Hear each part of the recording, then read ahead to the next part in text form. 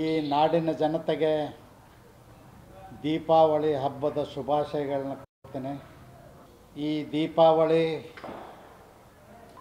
ಪ್ರತಿಯೊಬ್ಬರಿಗೂ ಸುಖ, ಶಾಂತಿ, ಸಂತೋಷವನ್ನು ನೀಡಲಿ. ನಾಡಿನ ಅಭಿವೃದ್ಧಿಗೆ ಆಶೀರ್ವಾದ ಮಾಡಲಿ ಭಗವಂತ ಈ ಸಂದರ್ಭದಲ್ಲಿ ಪ್ರಾರ್ಥನೆ ನಾನು ಹೈದರಾಬಾದ್ಗೆ ಹೋಗಿದ್ದೆ. ಪ್ರಧಾನಮಂತ್ರಿಗಳ ಕಾರ್ಯಕ್ರಮದ ನಿಮಿತ್ತವಾಗಿ ನಿನ್ನೆ ಹೈದರಾಬಾದ್ನಲ್ಲಿ ಕಾರ್ಯಕ್ರಮ ಇತ್ತು ಹೈದರಾಬಾದ್ದಲ್ಲೇ ನೋಡಿದೆ ನ್ಯೂಸಲ್ಲಿ. ರಾಜ್ಯಾಧ್ಯಕ್ಷ ಅನೇಕ ದಿನಗಳಿಂದ ಆಗಬೇಕಾಗಿತ್ತು. ಚುನಾವಣೆ ಮತ್ತಿತರ ಕಾರಣದಿಂದ ಆಗಿರಲಿಲ್ಲ. ಯುವಕ ಯಡಿಯೂರಪ್ಪನವ್ರ ಸುಪುತ್ರ ವಿಜೇಂದ್ರ ಅವ್ರನ್ನ ಮಾಡೋದರ ಮೂಲಕ ನಾಡಿನ ಜನತೆಗೆ ನಮ್ಮ ವರಿಷ್ಠರು ಸಂದೇಶವನ್ನು ಕೊಟ್ಟಿದ್ದಾರೆ. ಅಷ್ಟೇ ಅಲ್ಲದ ಯುವ ಜನಾಂಗಕ್ಕೆ ನಮ್ಮ ಪಕ್ಷ ಪ್ರೋತ್ಸಾಹಿಸ್ತಿದೆ, ಯುವಕರಿಗೆ ಜವಾಬ್ದಾರಿಯನ್ನು ವಹಿಸಿಕೊಡ್ತಿದೆ ಅಂತಕ್ಕಂಥ ಸಂದೇಶವನ್ನು ಕೂಡ ಕೊಟ್ಟಿದ್ದಾರೆ. ಯಡಿಯೂರಪ್ಪನವ್ರ ನಾಯಕತ್ವದಲ್ಲಿ ಸುಮಾರು ಐವತ್ತು ವರ್ಷಗಳಿಂದ ಕರ್ನಾಟಕದಲ್ಲಿ ಭಾರತೀಯ ಜನತಾ ಪಕ್ಷವನ್ನು ಸಂಘಟಿಸಿ ಅಧಿಕಾರಕ್ಕೆ ತರುವ ಮಟ್ಟಿನಲ್ಲಿ ಮಾನ್ಯ ಶ್ರೀ ಬಿ ಎಸ್ ಯಡಿಯೂರಪ್ಪನವರು ಯಶಸ್ವಿ ಆಗಿದ್ದರು ನನಗೂ ಕೂಡ ಅವಕಾಶ ಸಿಕ್ಕಿತ್ತು ಯಡಿಯೂರಪ್ಪನವ್ರ ಸಂಪುಟದಲ್ಲಿ ಮಂತ್ರಿಯಾಗಿ ಕೆಲಸ ಮಾಡಲಿಕ್ಕೆ.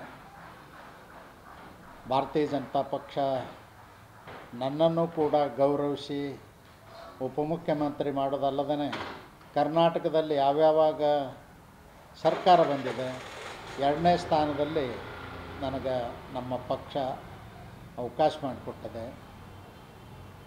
ಅದನ್ನು ನಾನು ಈ ಸಂದರ್ಭದಲ್ಲಿ ಸ್ಮರಿಸ್ತೇನೆ. ವಿಜೇಂದ್ರ ಅವ್ರ ನಾಯಕತ್ವದಲ್ಲಿ ಯುವಕರೆಲ್ಲರೂ ಸಂಘಟಿತರಾಗಿ ಈ ರಾಜ್ಯದಲ್ಲಿ ಮತ್ತೆ ಇಪ್ಪತ್ತೈದಕ್ಕೂ ಹೆಚ್ಚು ಸೀಟುಗಳನ್ನು ಲೋಕಸಭೆಗೆ ಗೆಲ್ಲಿಸುತ್ತಾರಂತಕ್ಕಂಥ ವಿಶ್ವಾಸ ನನಗಿದೆ.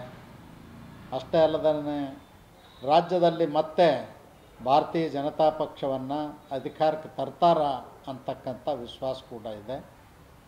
ನಾನು ಯಡಿಯೂರಪ್ಪನವ್ರ ಜೊತೆಯಲ್ಲಿರೋದರಿಂದ ಪಕ್ಷದ ಜೊತೆಯಲ್ಲಿರೋದರಿಂದ ಮತ್ತು ಅನ್ನೋ ರಾಜ್ಯದ ಎಲ್ಲ ನಾಯಕರ ಜೊತೆಯಲ್ಲಿ, ದೇಶದ ನಾಯಕರ ಜೊತೆಯಲ್ಲಿ ಇರೋದರಿಂದ ನಾನು ಕಂಡುಕೊಂಡದ್ದೇನೆಂದರೆ, ಭಾರತೀಯ ಜನತಾ ಪಕ್ಷ ಯುವಕರಿಗೆ ಅವಕಾಶವನ್ನು ದೇಶದ ಉದ್ದಗಲಕ್ಕೂ ಕೊಡ್ತಕ್ಕಂಥ ಕೆಲಸವನ್ನು ಮಾಡ್ತದೆ.